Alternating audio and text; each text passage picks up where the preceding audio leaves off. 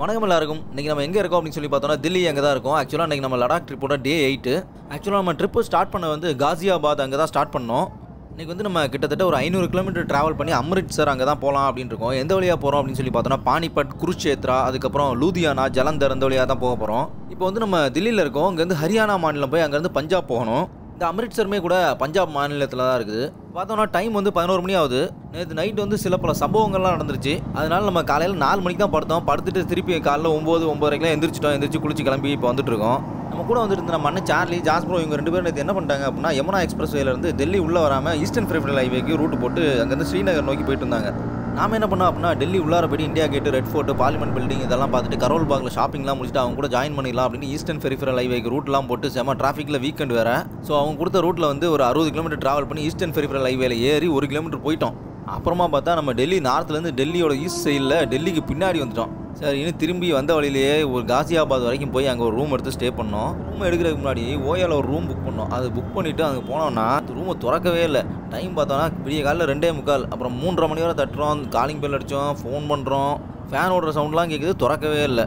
அதுக்கப்புறமா ஓயோட customer கேருக்கு phone பண்ணோம். ரெண்டு தடவை ஃபோன் அட்டன் பண்ணாங்க. அப்புறம் ப்ராப்பர்ட்டி மேனேஜருக்கு வந்து நாங்கள் கால் பண்ணுறோம் அப்படின்னு சொல்லிட்டு அதுக்கப்புறம் ரெஸ்பான்ஸே இல்லை என் சைட்லேருந்து ஃபோன் பண்ணாலும் எடுக்கவே இல்லை. சரி கிளம்பலாம் அப்படின்னு பார்த்தோன்னா ஆல்வின் தூக்க காலத்தில் பைக்கை சைட் ஸ்டாண்ட் சரியாக எடுக்காமல் பைக்கை கீழே போட்டு ஹெல்மெட்டில் உள்ள இன்டர்காம்லாம் கீழே வந்து உடஞ்சி போச்சு. சரி இது பார்த்தா நம்ம அரவிந்த் ப்ரோ அவரோட ஃபாக் லைட் ஆஃப் பண்ணாமலே வச்சிருந்தாரு. பைக்கில் உள்ள பேட்டரி சுத்தமாக டவுன் ஆகி அதுக்கப்புறம் ஸ்டார்ட்டே ஆகல. அப்புறம் தள்ளி விட்டு ஸ்டார்ட் பண்ணோம். அதுக்கப்புறமா ஸ்ரீநகர் நோக்கி ரூட் போட்டு திரும்பி வந்துட்டே இருக்கும்போது காசியாபாத்தில் ஒரு லாட்ஜ் ஒன்று பார்த்தோம். காலிங் பெல் அடித்தோம் டக்குன்னு திறந்துட்டாங்க. சரின்னு ரூம் புக் பண்ணி படுக்கும்போது மணி பார்த்தோன்னா காலையில் நாளை காலு. தில்லி எங்கே இருக்கக்கூடிய ஒரு ஃபியூல் ஸ்டேஷன் வந்து பெட்ரோல் போடலாம் அப்படின்னு சொல்லி வந்திருக்கோம். ஆக்சுவலாக என்னோட வண்டியில் பார்த்தோன்னா ஒரு முக்கா டேங்க் பெட்ரோல் இருக்குது. இன்னும் அரவிந்த் ப்ரோ தான் இப்போ பெட்ரோல் போட்டுட்ருக்காங்க. இன்றைக்கி வந்து நம்ம கன்னியாகுமரியிலேருந்து கிளம்பி எட்டு நாள் ஆயிடுச்சு. ஒவ்வொரு நாளுமே பார்த்தோன்னா கிட்டத்தட்ட ஒரு முந்நூறுலேருந்து ஐநூறு கிலோமீட்டர் நம்ம ட்ராவல் பண்ணிட்டு இருக்கோம் நம்ம கூட ட்ராவல் பண்ணுறவங்க எல்லாருமே பார்த்தோன்னா ஒரு நாளைக்கு ரெண்டு தடவை பெட்ரோல் டேங்க் ஃபில் பண்ணுறாங்க நம்ம வந்து பார்த்தோன்னா ஒரு நாளைக்கு ஒரு தடவை தான் பெட்ரோல் டேங்க் ஃபில் பண்ணிட்டு இருக்கோம் இது வரைக்கும் நம்ம யமஹா ஆர் பதினஞ்சு வண்டிக்கு. டெல்லியில் இருக்கக்கூடிய சிக்னேச்சர் பிரிட்ஜ் அதுக்கிட்ட தான் இப்போ நம்ம வந்துட்டு இருக்கோம் இது வந்து பார்த்தோன்னா யமுனை ஆத்துக்கு குறுக்க கட்டப்பட்டிருக்குது.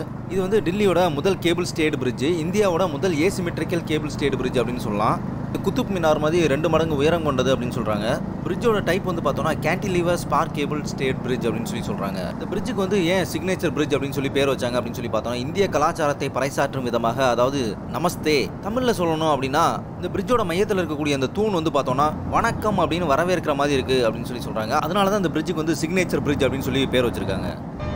நம்மளோட வலது பக்கத்தில் பார்க்கும்போது ஒரு பெரிய மலை ஒன்று தெரியுது. நான் இதை பார்த்தோன்னா மதுரையில் இருக்கக்கூடிய யானை மலை அந்த சைஸில் இருக்க மாதிரி இருக்குன்னு பார்த்துட்டு இருந்தேன். அந்த பக்கம் பார்த்தோன்னா ஜேசிபியில் வச்சு அந்த பாறையெல்லாம் உடச்சிட்டு இருக்காங்க அப்படின்னு நினச்சிட்டு இருந்தேன். கடைசியில் பார்த்தா அதை பார்த்தா குப்பமேடு. டெல்லியில் இருக்க மொத்த குப்பை இங்கே தான் கொண்டு வந்து கொட்டுவாங்க போல.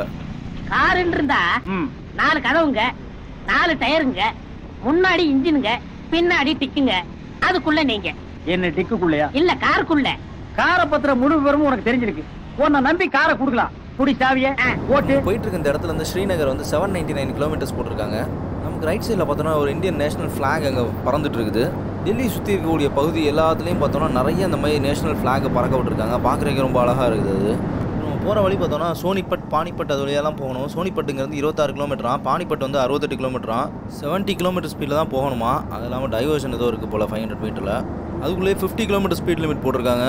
ஸ்பீடு டக்குன்னு செவன்ட்டிலேருந்து டுவெண்ட்டி கொண்டு வந்துட்டாங்க ஸ்பீட் லிமிட் பார்த்தோன்னா டெல்லி போலீஸ் ஒரு வண்டி ஒன்று போகுது. ஏதோ படத்தில் சாமி டூ அந்த படத்தில் பார்த்த மாதிரி இருக்குது. அதுக்கு பாருங்க இந்த பாலம் தான் வேலை நடந்துட்டுருக்கு. ஸோ அதுக்காக தான் அந்த இடத்துல டைவர்ஷன் போட்டிருக்காங்க. ஸ்பீட் லிமிட் அதுக்காக தான் ரெடியூஸ் பண்ணி ரெடியூஸ் பண்ணி கொண்டு வந்திருக்காங்க. காலையில் வந்து டெல்லி பக்கத்தில் இருக்கக்கூடிய காசியாபாத் அங்கேருந்து கிளம்பி இப்போ நம்ம ஹரியானா ஸ்டேட் அதுக்குள்ளார வந்திருக்கோம்.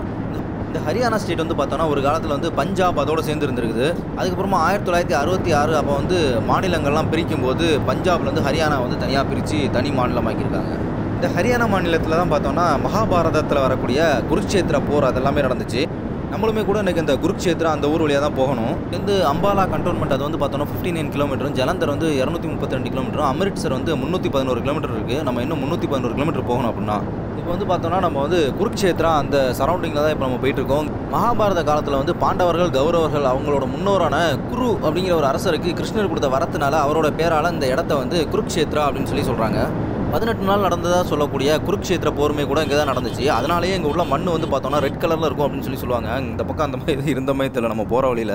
அது மட்டும் இல்லாமல் கிருஷ்ணர் வந்து அர்ஜுனருக்கு பகவத்கீதையை வந்து உபதேசம் செஞ்சது வந்து இந்த குருக்ஷேத்திரம் அப்படின்னு சொல்லக்கூடிய இந்த இடத்துல தான். வந்து நம்ம ஹரியானா மாநிலத்திலேருந்து பஞ்சாப் மாநிலத்துக்குள்ளார என்ட்ரு ஆகிட்டோம் இந்த பஞ்சாப் மாநிலம் இதோட தலைநகரம் என்ன அப்படின்னு சொல்லி பார்த்தோம்னா சண்டிகர் அப்படிங்கிற சிட்டி தான்.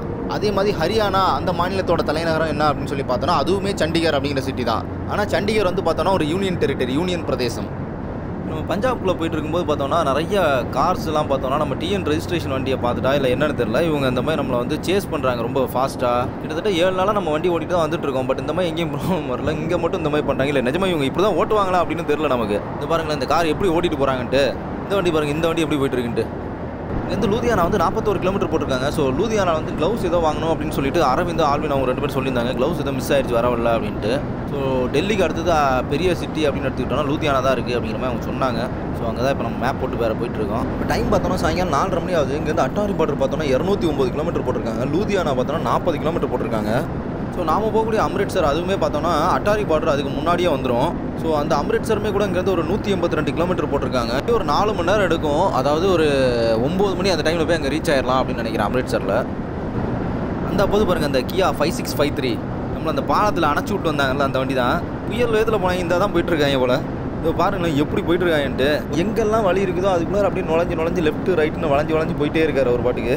நான் அந்த ஒரே லைனில் தான் வந்துக்கிட்டு இருக்கேன். லெஃப்ட் சைடு இருக்க லேனு பாருங்களேன் இந்த வலை வளைச்சி அவர் ஓட்டிட்டு நம்ம நேராக வந்து ஈஸியாக அவர் ஓவர்டேக் பண்ணி போயிட்டுருக்கோம். டூ வீலர் லைன் இருந்துச்சுன்னா அதுக்குள்ளே நுழைஞ்சு வந்துட்டு இருப்பேன் இப்போ பாலத்தில் போகிறனால டூ வீலர் லைன் இல்லை. ஸோ அதனால் இந்த லெஃப்ட் சைடு இருக்கிற இந்த ட்ராக்கை பிடிச்சே போயிட்டுருக்கேன் நான். பஞ்சாப்ல இருக்கக்கூடிய லூதியானா அங்கே தான் இருக்கும். நேஷனல் ஹைவேஸில் போயிட்டு இருந்தோம் திடீர்னு இப்போ பார்த்தோம்னா லூதியானா ஊருக்குள்ளார போயிட்டு இருக்கோம். இந்த லூதியானா எங்கே இருக்குது அப்படின்னு சொல்லி பார்த்தோம்னா சட்லஜ் நதிக்கரையில் தான் இருக்குது. உள்ளன் துணிகள் உற்பத்தியில் வந்து ரொம்ப ஃபேமஸான ஒரு இடம் தான் இந்த லூதியானா. ஆரம்பத்தில் லோதி வம்சத்தை சேர்ந்தவர்கள் இந்த இடத்த வந்து ஆட்சி பண்ணியிருக்காங்க. அதனால இந்த ஊர் வந்து லோதி ஆனா அப்படின்னு சொல்லி அழைச்சிருக்காங்க.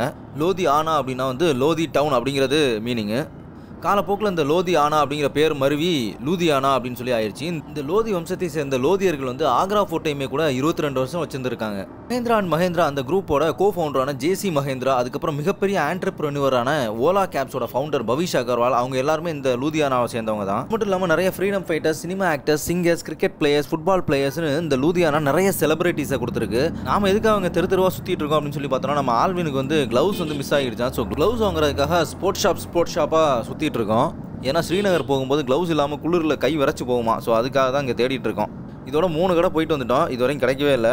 இந்த லூதியானா அந்த ஊரில் இருக்கக்கூடிய தெருவெல்லாம் பார்க்கும்போது ரொம்ப க்ளீனாக இருக்க மாதிரி இருந்துச்சு. இது என்னென்னு பார்க்கும்போது ஒரு சின்ன டிஃப்ரென்ஸ் இருந்துச்சு நம்ம ஊருக்கு இதுக்கும். அது கூர்ந்து பார்க்கும்போது அதையே ஐடென்டிஃபை பண்ண முடிஞ்சுது. அது என்னென்னா இந்த க்ளோஸ்டு ட்ரைனேஜ் சிஸ்டம் அதாவது இங்கே இருக்க சாக்கடை எல்லாமே பார்த்தோன்னா ஃபுல்லாகவே க்ளோஸ் பண்ணியிருக்கோம். நம்ம ஊரில் பார்த்தோன்னா ஓப்பன் ட்ரைனேஜ் சிஸ்டமாக இருக்கும். ஸோ இங்கே இருக்க சாக்கடை எல்லாமே க்ளோஸ் பண்ணியிருக்கிறதுனால கொஞ்சம் நீட்டாக இருக்கிற மாதிரி இருக்குது இங்கே இருக்க இந்த ஸ்ட்ரீட்ஸ் எல்லாமே. கிட்டத்தட்ட ஒரு முக்கால் மணி நேரமாக அந்த லூதியானாக்குள்ளார தான் சுற்றிட்டு இருக்கோம். இருக்கிற மொத்த ஸ்போர்ட்ஸ் ஷாப் எல்லாத்துக்குமே போயிட்டா நிறைய கடை க்ளோஸ்டு இன்னைக்கு சண்டே வேறு. அதுவும் இல்லாமல் திறந்திருக்க கடையிலையும் அந்த க்ளவுஸ் எதுவுமே இல்லை அப்படின்னு சொல்லிட்டாங்க. ஸோ அது எதுவும் வாங்கலை. இப்போ நேராக நம்ம ஹைவேஸ் நோக்கி திரும்பி போயிட்டுருக்கோம் பஞ்சாப் அங்கே ஓடக்கூடிய சட்லஜார் அதோட பாலத்துக்கு மேலே தான் இப்போ நம்ம போயிட்டு இருக்கோம் பஞ்சாபில் மொத்தமாக பார்த்தோம்னா அஞ்சு பெரிய ஆறுகள் ஓடிட்டு இருக்கு அதில் ரொம்ப நீளமான ஆறு அப்படின்னு பார்த்தோம்னா அந்த சட்லஜார் தான். இதோட நீளம் பார்த்தோம்னா ஆயிரத்தி நானூற்றம்பது கிலோமீட்டர். பீஸ் ஜெனாப் ஜீலம் ராவி சட்லஜ் அப்படின்னு அஞ்சு பெரிய ஆறுகள் ஓடிட்டு இருக்கு அதனால தான் இந்த மாநிலத்தோட பேர் வந்து பஞ்சாப் அப்படின்னு வந்துச்சு. அதாவது ரெண்டு பேர்ஷியன் வேர்ட்ஸ் அதாவது பாஞ்ச் ஆப் அப்படிங்கிற ரெண்டு வேர்டு சேர்ந்து தான் பஞ்சாப் அப்படின்னு ஆச்சு பாஞ்ச் அப்படின்னா வந்து அஞ்சு அப்படின்னு அர்த்தம். ஆப் அப்படின்னா வந்து வாட்டர் நீர் அப்படிங்கிறது அர்த்தம். பேர்ஷியன் லாங்குவேஜில் இப்போ இருக்கக்கூடிய ஈரான் நாட்டை தான் வந்து பேர்ஷியா அப்படின்னு சொல்லி சொல்லுவாங்க. இந்த சட்லஜ் ஆறு பார்த்தோம்னா டிபெட்டில் கைலாய மலைத்தொடரில் உற்பத்தியாகி இமாச்சல் பிரதேசத்தில் நுழைஞ்சு அங்கேருந்து பஞ்சாப் மாநிலத்துக்கு வந்து அதுக்கப்புறமா சர்வதேச எல்லை வழியாக பாகிஸ்தானுக்குள்ளே போயிட்டு திரும்பவும் இந்தியாவுக்குள்ளே வந்து அகெயின் பாகிஸ்தானுக்குள்ளே போய் சிந்து நதியில் கலந்து கராச்சி பக்கத்தில் அரபிக் கடலில் கலக்குது. அது மட்டும் இல்லாமல் இந்த சிந்து நதியோட மிக நீளமான துணை நதி வந்து இந்த சட்லஜார் தானா? அதுக்கப்புறமா இந்த பாலம் முடிகிற இடத்துல பார்த்தோம்னா ஒரு பெரிய சிவனோட ஸ்டாச்சு இருக்குது. இந்த கோயிலோட பேர் வந்து சனிதேவ் மந்திர் அப்படின்னு சொல்லி போட்டிருக்காங்க. சனிதேவ் டெம்பிள். இது வந்து பார்த்தோன்னா ஒரு உயரமான சிவனோட சிலை இருக்குது. இப்போ வந்துட்டு இருக்கும்போது பார்த்தோன்னா ஒரு புகையா இருந்துச்சு என்னடான்னு பார்த்தா அந்த பக்கம் வயல்லாம் தீ வச்சு கொளுத்தி விட்ருக்காங்க அப்படியே ஒரு ட்ரெயின் ஒன்று கிராஸ் ஆகுது பாருங்க எப்படி போயிட்டு இருக்குன்ட்டு. பக்கம் அப்படியே சூரியன் வேறு அப்படியே மறைகிறதுக்கு ரெடி ஆகிட்டு இருக்குது. பார்க்கவே ரொம்ப அழகாக அப்படியே ஆரஞ்சு கலரில் இருக்குது. டைம் பார்த்தோன்னா சாயங்காலம் ஆறரை மணி ஆகுது. இது எந்த இடம்னு தெரில இப்போ சன் செட் வந்து இந்த ஃப்ளைஓவர் மேலே வந்து பார்க்குறதுக்கு ரொம்ப அழகாக இருந்துச்சு. ஸோ அதான் வீடியோ எடுக்கலாம் அப்படின்னு நிப்பாடி இருந்தேன் கொஞ்சம் முன்னாடி பார்த்தப்போ ஒரு ட்ரெயின் போச்சுல்ல அந்த ட்ரெயின் தான் இப்போ ஏதோ ஸ்டேஷன் நின்று போகுது. இப்போ வர வழியில் ஒரு ஃபேமிலி பார்த்தேன். சின்ன குழந்தைகள்லாம் வச்சு நின்றுட்டு இருந்தாங்க மகாராஷ்டிராவில் இருக்கக்கூடிய ஷிரடியிலேருந்து இங்கே பஞ்சாபில் வேலைக்கு வந்தாங்களா? இப்போ வேலை இல்லை. அதனால திரும்பி ஊருக்கு போக கூட காசு இல்லை. குழந்தைகள்லாம் சாப்பாட்டு கூட வழி இல்லைன்னு சொல்லிட்டு காசு கேட்டாங்க. சரி குழந்தைகள்லாம் வச்சுருக்காங்களேன்னு சொல்லிட்டு அவங்களுக்கு தேவையான அமௌண்ட்டை கொடுத்துட்டு ஊருக்கு போக சொல்லிட்டு வந்தேன். இப்போ பார்த்தோன்னா கேமராவில் சார்ஜ் வேறு இல்லை. சார்ஜும் ஏற மாட்டேங்குது. எப்போ ஆஃப் ஆகும்னு தெரியல. ஸோ இதோட நான் அந்த வீடியோ முடிச்சுக்கலாம் அப்படின்னு இருக்கேன். நன்றி வணக்கம்.